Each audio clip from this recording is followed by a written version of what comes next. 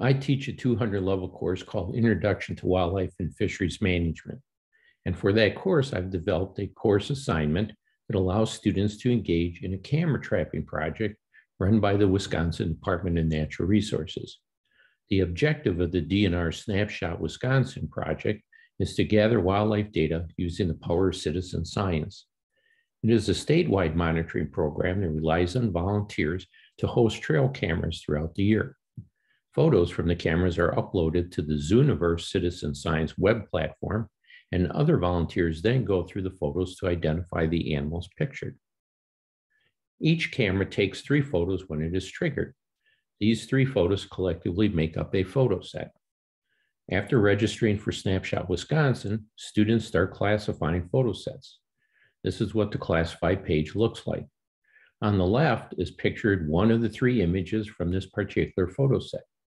You can toggle among the three photos simply by clicking on the buttons underneath the photo.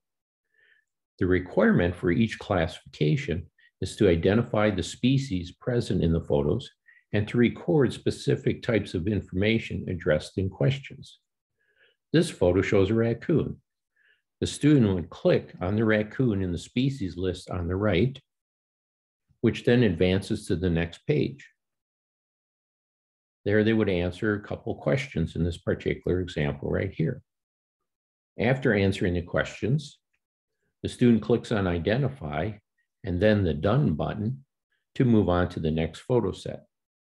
However, before clicking on the done button, the student saves the photo set to a collection folder, which they set up in advance. I require students to save a minimum of 60 photo sets to their collection. Each of those photo sets will then have some data that they extract from it. Because all the student collections are publicly visible, it allows me to check each student's progress as they are doing their classifications. For this project, I required the students to obtain information on the following variables shown in this Excel worksheet. Each row represents the information from one photo set.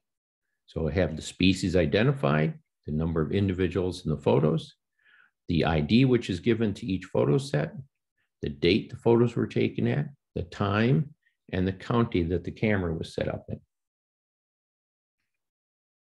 This is an example of a student's collection. And so in this case, we have eight different photo sets that were saved in this particular collection.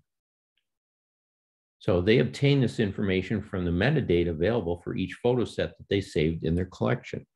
So by simply clicking on the eye symbol underneath the photo for each photo set, it will open up this metadata window. And you can see the date is there, time, county, and subject ID.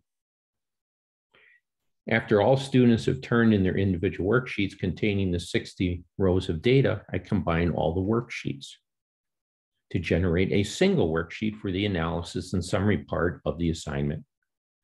I add two additional columns of information, month and hour, which represents the 24 hourly periods for each day. I give the students this final Excel data set and a document that outlines the analyses they must complete and some questions to answer. Here are just a few examples of results from last year. In this first example, students generated a pivot table to determine the total number of photo sets classified for the various species observed and rank the top 10 most observed species. So you can see in this case, deer ranked number one, raccoon was second, and then a group is collectively squirrels and chipmunks came in number three. In the second example, they graphed the frequency of deer observations by month. So you can see here, there was higher frequency of deer observations in January, February, March, then it dropped off, and then it started going back once you got into September. In this last example, they produced a graph to assess changes in raccoon activity over a 24 hour period of time. So each of the bars right here represents a one hour period. So you can see higher activity early in the morning, drops off during the middle part of the day, and then it picks up again later in the day. Results from an anonymous survey I conducted last year showed that a high percentage of students found this project to be a useful educational experience 89% of the participants indicated that. And they enjoyed doing the animal classifications part of the project. So 92% of them enjoyed doing the, the classification part.